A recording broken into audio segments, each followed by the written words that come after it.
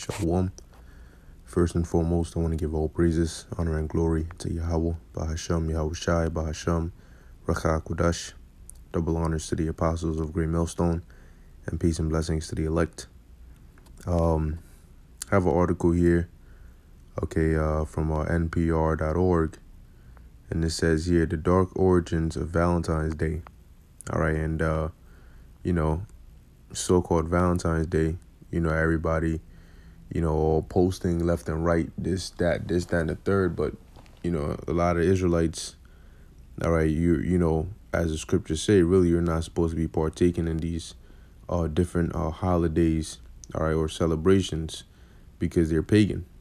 Okay, now, you know, you have it to where a lot of Israelites don't even know or understand what this, you know, see a lot of these holidays that you celebrate that have these modern names all right they go back to the ancient world you know whether it's the roman empire or the greeks or the egyptians or the babylonians all right it's just the same deities same uh, uh um deified holy days on the left hand side just recycled okay and in and in um partaking in that okay you are in a form or in a way worshiping okay those those uh, idols. All right, worshiping those, uh, uh, uh, you know, partaking of those holy days, and in turn, all right, you are angering the Most High.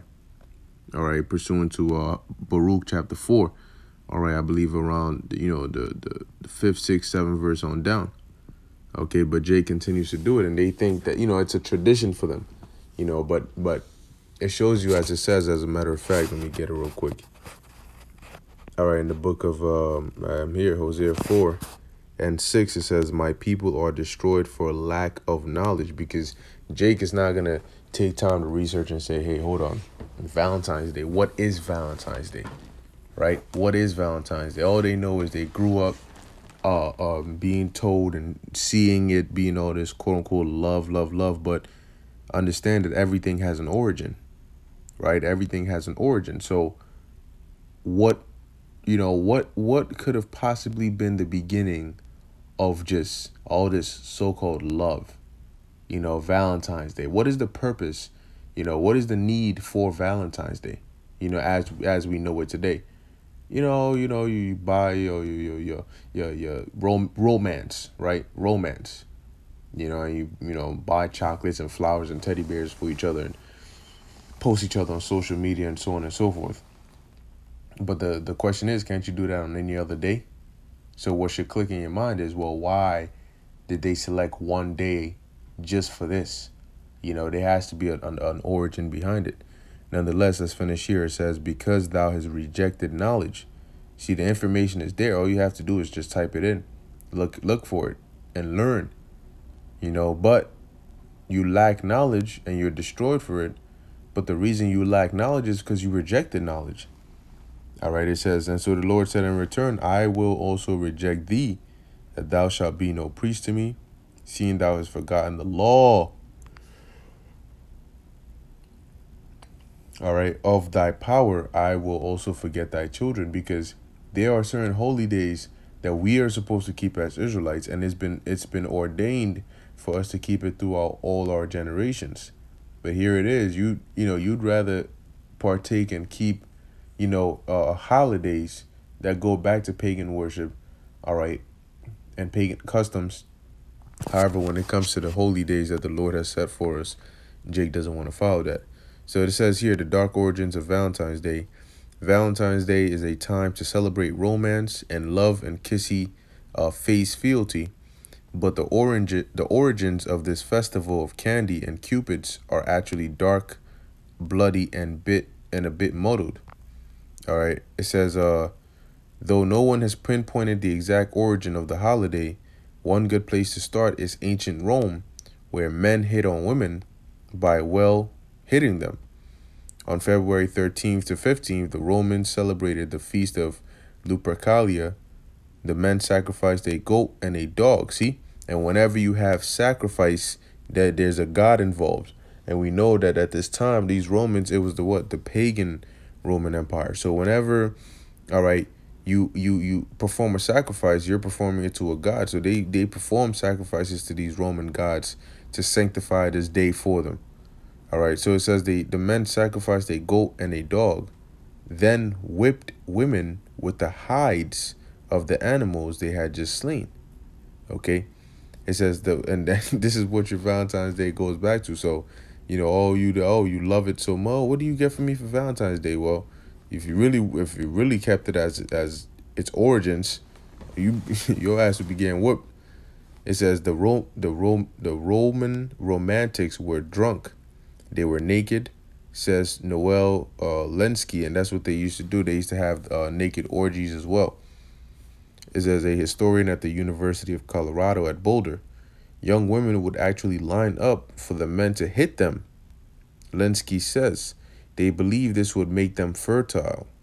All right, you see the the the hey man, the the customs of the of the heathens are vain, man.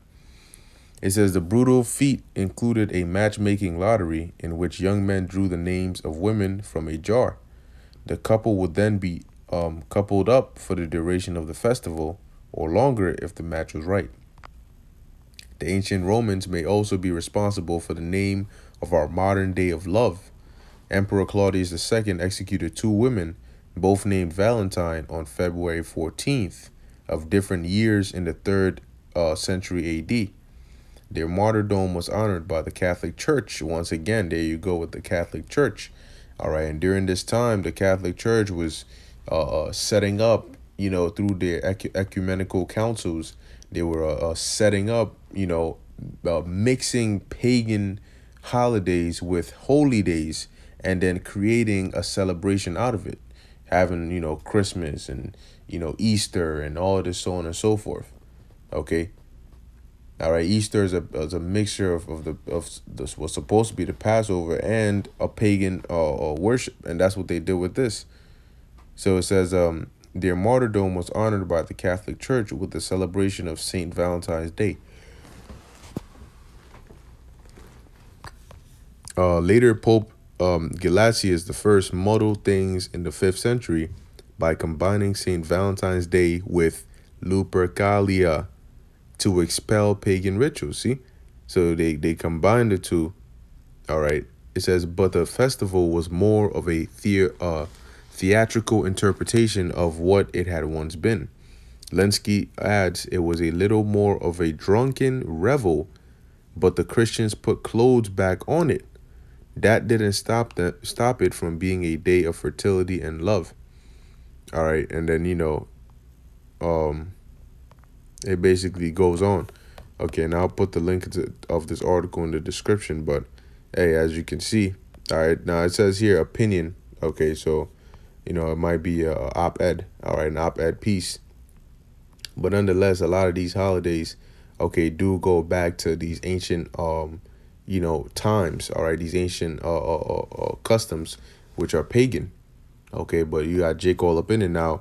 Uh, when you go to the book of Revelation, all right, chapter 13, it says here, uh, Revelation 13 and uh, verse 12, it says, And he exerciseth all the power of the first beast before him.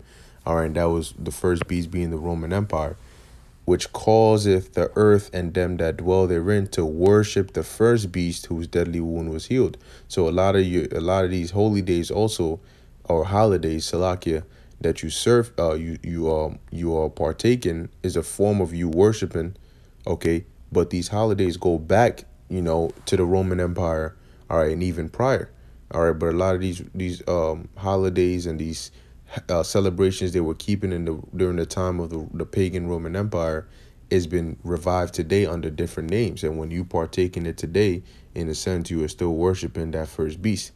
Okay. And, you know, as we know, it's going to get more and more, you know, uh, physical, you know, when the dragon comes to, you know, put his mark upon these people. Okay. Nonetheless, just wanted to bring that out real quick, man. As the scriptures say, you know, uh, as for me and my house, we're going to serve Yahweh Ba'ashem Yahushai. We're going to keep the holy days of the Lord. All right, not this pagan madness. Okay, so with that, I hope you were edified and informed. In closing, I want to give all praises, honor, and glory to Yahweh, Bahashem, Yahushai, Bahashem, Racha Kodash. Until next time, Shalom.